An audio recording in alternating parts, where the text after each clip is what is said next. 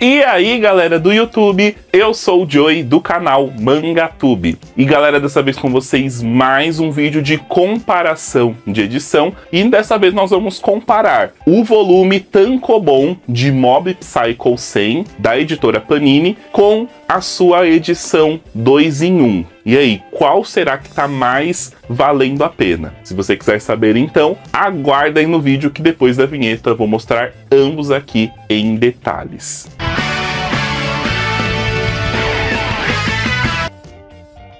E viramos vídeos de mãos para a gente ver detalhe por detalhe dessas duas edições de Mob Psycho 100, né? Vamos começar então com a capa. O desenho é o mesmo, tanto da edição Tanco quanto da edição 2 é, em 1, um, né? O estilo também, a fonte utilizada aqui no título, aonde fica o número do volume, o nome do, do, do autor, né? Tudo igual e até mesmo o símbolo do Planet Mangá também no mesmo canto. A diferença a gente tem aqui na capa do 2 em 1. Um. Se vocês verem, ó, ela tem um acabamento em verniz em algumas, ó, nas pedrinhas aqui no título, né, no, no nome do mangá, no volume, coisa que a gente não tem aqui na edição Tanco, né? O Tanco simples, ó, a capa também é simples, fora que na 2 em 1 um, a gente tem também, além do verniz, um acabamento fosco na capa. E isso a gente já consegue perceber também, ó, olhando aqui, ó, em detalhes para vocês mangá com capa cartão simples, já que a gente tem uma capa cartão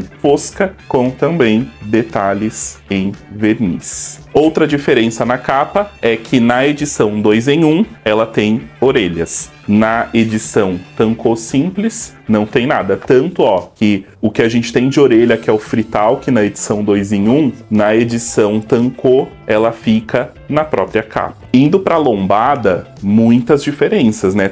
Aí já muda totalmente. Aqui na edição Tanco Simples, a gente tem uma ilustração do mob, mas no final, é aqui o nome do, do artista, o número, o nome do mangá e o símbolo da Panini. Aqui meio que se inverte, né? A gente vai pro desenho do mob, o nome, o número, o autor e o símbolo da Panini. Na quarta capa, muitas diferenças também, porque como aqui a edição 2 em 1, um, a gente tem não tem um, uma ilustração que teria originalmente no volume 1, um, né? Como é 2 em 1, um, aqui a gente vai ter a ilustração do volume 1 um, e aqui a gente vai ter a ilustração do volume 2. Já que na edição Tanco, a gente tem o que seria a quarta capa original do volume 1 e até aqui algum resuminho, né, do que a gente vai encontrar aqui na história. É, tem também essa diferença do, do código de barras aqui com preço, que aqui está deitado e aqui na edição Tanco ela é em pé. O nome do autor fica e aqui já fica mais centralizado. Aqui nós já vimos quando a gente abre, a gente já tem, né, direto o frital que já na capa e aqui começa o mangá. Já na edição 2 em 1, um, ó, a gente tem uma ilustração diferente dentro. E aqui também o, o, o título, né, do, do mangá. E aí sim, vem aqui depois o desenho. Aqui no extra a gente tem uma diferença, mas é muito mais porque o 2 em 1 um reúne dois volumes em um só. Então eles pegaram, né, o índice, aliás, do volume 1 um e do volume 2. Aqui, na edição Tancô, como ela é edição simples, a gente só vai ter o índice do volume 1 e aqui do lado do índice já a história. Vamos ver se tem diferença de tradução. Aqui, ó, a história do Tancô começa assim: Nosso mundo está repleto de fenômenos bizarros ainda inexplicados pela ciência. Ao encará-los, resta às pessoas apenas o terrível abismo do desespero. Entretanto, existem aqueles que seguem lutando dia após dia para iluminar essas trevas caóticas. Esses indivíduos são chamados de médiums. Já que na edição 2 em 1, um, a gente tem também a mesma coisa. O nosso mundo está repleto de fenômenos bizarros ainda inexplicados pela ciência. Ao encará-los, resta às pessoas apenas o terrível abismo do desespero. Entretanto, existem aqueles que seguem lutando dia após dia para iluminar essas trevas caóticas. Esses indivíduos são chamados de médiums. Ao que parece, então, não teve mudança de tradução. Eles usaram a mesma tradução já ali do, do mob, né? Em relação às páginas, a edição Tancô, ela foi lançada aqui no Brasil no papel jornal. Já a edição 2 em 1, ela é lançada aqui no papel off-white sobre transparência. Ó. Aqui a gente tem o papel jornal, que é um papel mais simples, né, da época. Não tem aquela transparência excessiva, né, de que, nossa, meu Deus do céu, acaba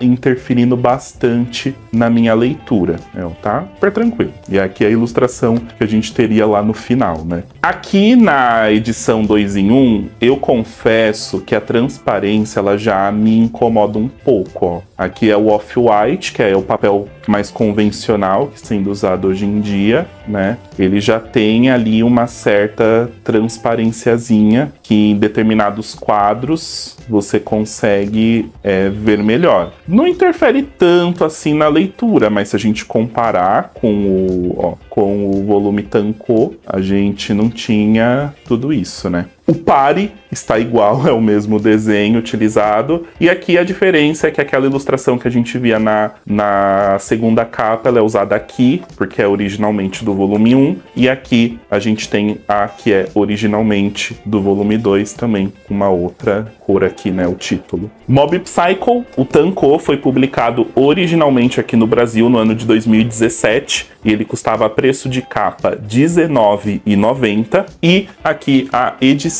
que a gente tem 2 em 1, um, ela e aqui a edição que a gente tem 2 em 1, um, ela está saindo a preço de capa R$49,90. Sobre a minha opinião, eu acho que a edição 2 em 1 um tá lindona também. Se você não adquiriu a primeira vez e você tem interesse, aproveita e pega porque ela ficou linda. Me incomoda a questão da transparência, mas não é algo que eu vejo como, ah, não vou deixar de comprar por conta disso, né? Mas eu já tenho aqui os meus 16 volumes, então eu prefiro ficar com a minha coleção Tanco. Também, história não muda nada, é a mesma coisa, né? A diferença aqui do 2 em 1 um é que você vai ter uma edição mais bonita. Bom, pessoal, então esse foi o vídeo comparativo. Eu espero que vocês tenham gostado. Se vocês gostaram, já sabe, deixa o gostei no vídeo, se inscreve no canal se você não for inscrito, clica no sininho de notificação, põe lá para receber todas, porque assim, sempre que sair um vídeo novo, você vai ser avisado.